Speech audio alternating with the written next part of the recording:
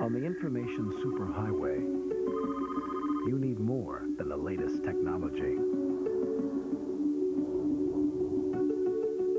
You need a very powerful drive.